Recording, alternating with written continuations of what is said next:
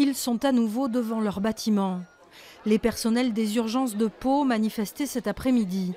Depuis un mois et demi, ils sont en grève, même s'ils travaillent.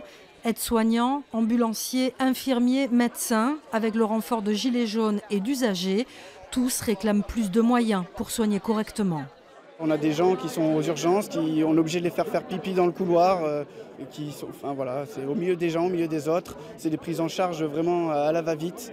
Voilà, on respecte plus, on respecte plus la pudeur. Il y a, il y a plus d'intimité même aux urgences, et ça c'est très grave, je trouve. L'autre jour, euh, c'était assez calme aux urgences, et on s'est étonné de pouvoir faire des prises en charge correctes, avec euh, où on peut écouter les, les, patients, écouter les familles, discuter avec eux, leur donner de vraies explications, avoir ces moment d'humanité qui me semble vraiment important euh, dans le soin.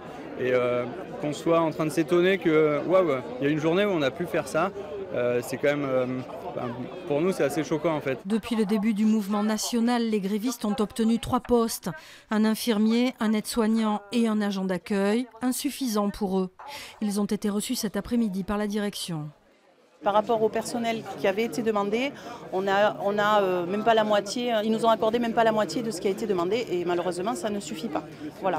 Donc du coup là, euh, la rencontre n'a rien donné de plus. Si on est là aujourd'hui, c'est justement parce que ben, c'est pour montrer notre détermination, donc on ne lâchera pas.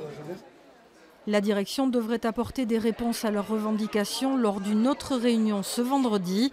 En attendant, le mouvement se poursuit.